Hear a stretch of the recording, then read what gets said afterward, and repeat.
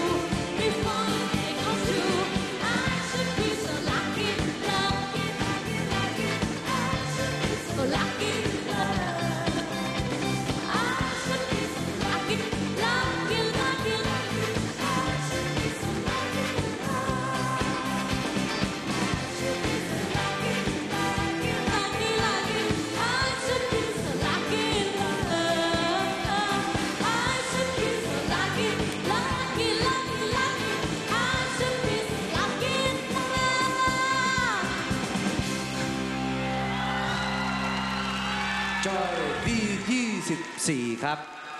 เชิญคุณไก่ครับ สวัสดีครับน้องจอยครับเออเหนื่อยไหม ก็ถือถือว่าเก่งมากนะครับ เพราะว่าโจทย์นี้มันไม่ตรงกับน้องจอย แล้วก็เป็นการเต้นเต็มที่ครั้งแรกนะครับ ก็ร้องไดนามิกดีขึ้นในในเรื่องของการไดนามิกกรูฟบางคำรู้จักเล่นเสียงอะไรในส่วนที่ดีดีขึ้น แล้วก็รู้จักออกมาเต้นมี movement อะไร แต่ว่า สิ่งที่น่าชมอีกอย่างหนึ่งคือ เมื่อเกิดปัญหาทางเทคนิคเกี่ยวกับไม้เนี่ยหน้าตาไม่แสดงอาการ เก็บอาการได้ดีมากนี่เป็นสิ่งที่ดีครับในส่วนที่พี่รู้สึกก็คือเรื่องของอารมณ์มันยังขาดขาดอยู่ เพราะว่าบางทีเราไม่ต่อเนื่องกับกับกับในอารมณ์ของความฝันของ เด็กๆเนี่ยคือคือในเรื่องนี้มันจะพูดเกี่ยวกับเด็กที่เพ้อฝันเกี่ยวกับความรักเนี่ยนะครับบางครั้งมันอาจจะมีขมวดคิ้วหรือเครียดบ้าง บางครั้งก็ดี แสดงว่าเราเริ่มจับอารมณ์ได้บ้างเหมือนกันนะครับมีอีกเรื่องหนึ่งนิดหนึ่งคือเรื่องเสียง ตอนนี้พี่ว่าสังเกตมาตั้งแต่วีคที่แล้วว่ามันเวลาเราโปรเจกต์เสียงอะเสียงน้องจอยจะเป็นคนที่เสียงเล็กอยู่แล้ว เล็กพุ่งการที่เราใช้เสียงอย่างเงี้ยเยอะเกินไปเนี่ย พี่ว่าอาจจะต้องตรงข้ามกับหลินหลินเขาต้องปรับให้สูงขึ้นใช่ไหมครับของเราต้องอาจจะต้องกดลงนิดนึงเพื่อความสบาย ไม่งั้นมันจะเป็นเสียงที่เล็ก แล้วก็คมมากเกินไปครับ ก็พัฒนาต่อครับน้องจอยดีมากครับต่อไปครับดีจ้าน้องจอย อันนี้พี่พูดแทนน้องให้น้องจอยนิดนึงนะคะสำหรับท่านผู้ชมที่ชมน้องจอยอยู่เมื่อกี้น้องจอยนะคะ พลาดทางเทคนิคนะคะ เสียงน้องจอยไม่ได้ไม่ได้เป็นที่ตัวน้องจอยนะคะ เป็นทางเทคนิคนะคะ ฝากพี่ๆทีมงานเช็คไมค์น้องๆ ให้น้องๆหน่อยนะคะ สงสารน้องๆนะคะ งั้นทาทาขอคอมเมนต์น้องจอยเป็นครึ่งแรกของเพลงแล้วกันนะคะ เพราะว่าครึ่งแรกยังไม่มีปัญหาทางเทคนิคของไมโครโฟนนะคะ เอ่อเสียงน้องจอยพี่เห็นด้วยกับทางพี่ไก่นะคะ พี่อยากให้น้องจอยพัฒนาเรื่องของเสียงเล็ก ๆ ของน้องจอยเนี่ยเพราะจริงๆแล้วน้องจอยเป็นคนโปรเจกต์เสียงดีเอ่อเอ่อเสียงน้องจอยเนี่ยเป็นคนเสียงเพราะ แต่น้องจอยต้องหัดโปรเจกต์เสียงให้ได้ใหญ่กว่านี้ได้ เพราะน้องจอยมีพลังพี่เชื่อตรงนั้น อีกอย่างหนึ่งที่พี่อยากให้น้องจอยพัฒนาก็คือเรื่องของ acting อะจอยจ๋า พี่พี่เห็นครู acting ละเอ่อครูเมย์แล้วก็ครูหลาย ๆ คนในบ้าน พยายามให้น้องจอยเอาตรงเนี้ยออกมา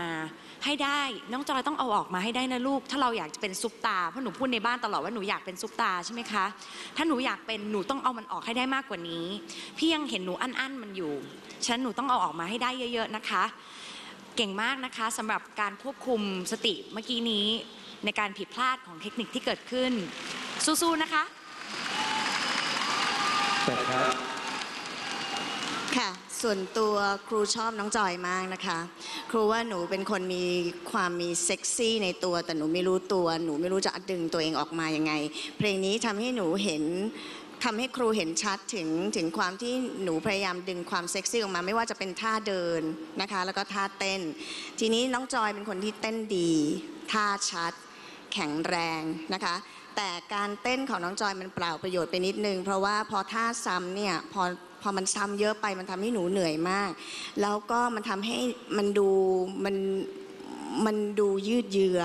นะคะ อาจจะเอามาแค่ท่อนแรก ท่อนกลางฟรี แล้วก็สนุกกับคนดู ตรงนี้ครูก็ไม่เห็นว่าน้องจอยสนุกกับคนดูตรงไหนนะคะ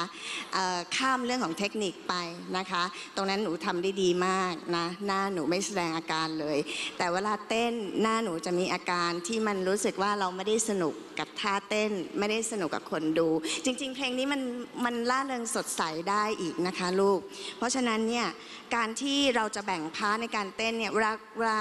ทำงานเต้นเนี่ยบางครั้งเราไม่ต้องเต้นหมดก็ได้ อาจจะถ้าเราเหนื่อยเราเราหยุด แล้วเราก็ค่อยมาจับท่าใดท่าหนึ่งให้พร้อมกับแดนเซอร์ ตรงนั้นมันก็จะเป็นเสน่ห์อีกอย่างหนึ่งครูก็ฝากน้องจอยไว้ตรงนี้ด้วยค่ะ ขอบคุณครับ จอย V24 ครับ